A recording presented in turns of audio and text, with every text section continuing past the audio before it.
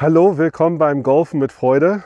Ich habe heute eine sehr gute, einfache Übung für dich, die du den ganzen Winter lang machen kannst, damit du nächstes Jahr viel solide schwingen kannst. Bevor ich das dir mitteile, möchte ich Danke sagen. Danke für das ganz, ganz liebe Feedback und das viele schauen.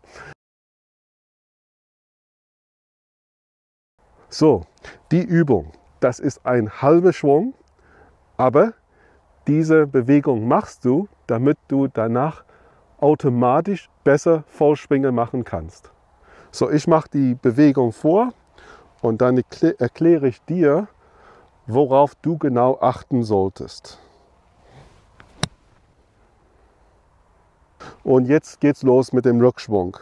Könntest du bitte schauen, dass du beide Arme schön hängen lässt.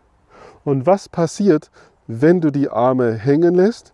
Die Oberarme berühren die Brust. Und das möchtest du bitte bei dieser kleinen Übung die ganze Zeit tun. Beim Aus- und Abschwingen und beim Durchschwingen. So, die Arme bleiben dran. Und ich fange an mit einer Drehung. Und während der Drehung verlagere ich ganz leicht das Gewicht nach rechts. Was macht mein Kopf? Der dreht sich mit, aber der geht nicht zur Seite und geht auch nicht hoch.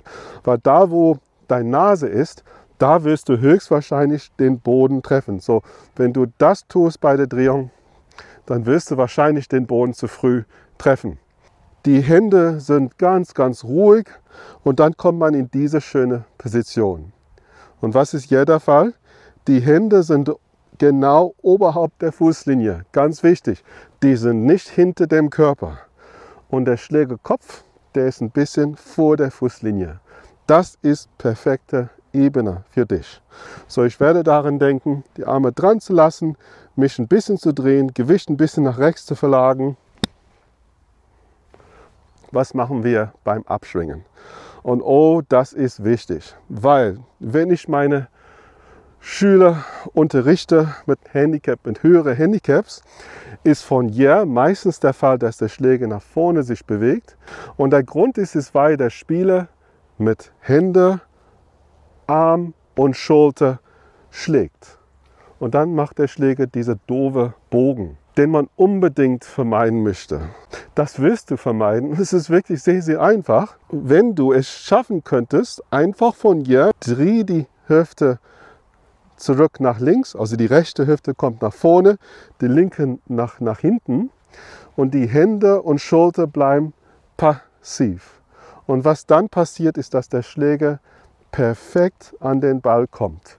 Wir sagen beim Golf, dass der Schläger von innen an den Ball kommt dann kommt er so an. Aber ich habe nicht das gemacht. Dann übertreibst du diese Bewegung. So bitte diese Seite ganz, ganz locker und entspannt lassen und achte nur auf eine Drehung der Hüfte oder des Bauches nach links und dann kommst du perfekt an. So, ich werde jetzt daran denken. Drehen. Und der Baum macht so einen schönen Ballflug mit einem leichten Linksstrahl. Das wäre ganz gut. So, wir werden jetzt Endposition denken, wir werden Durchschwung üben und du wirst sehen, dass der Durchschwung ein Spiegelbild des Rückschwunges ist. So, ich bin da beim Aussonnen, die Arme sind dran, Hände sind oberhalb der Fußlinie, Schlägerkopf vorne und beim Durchschwingen, wo sind meine Hände? Oh, oberhalb der Fußlinie, Schlägerkopf ist vorne. Mein Körper habe ich gedreht bitte, du musst aktiv in der Hüfte so sein und nicht so, weil sonst kippe ich oben, treffe den Boden zu früh. Okay, so jetzt denke ich an meine Durchschwungposition, mich in die andere Richtung zu drehen. Arme, Schulter, Hände sind sehr locker dabei. Und dann, wenn du einen vollen Schwung machst, und das ist die ganze Idee hinter dieser Übung. Automatisch war ich in dem wichtigen Bereich da, wo ich sein sollte. Automatisch beim Takeaway war ich richtig. das habe ich, das passierte von alleine. Da habe ich nicht gedacht. Dann kam ich wieder in diese Position und kam gut von innen an den Ball. Automatisch kam ich da. Automatisch habe ich meine Hüfte gedreht. Das passiert wieder von alleine. So die ähm, Übung jeden Tag machen für die nächsten drei Monate und du wirst so davon profitieren.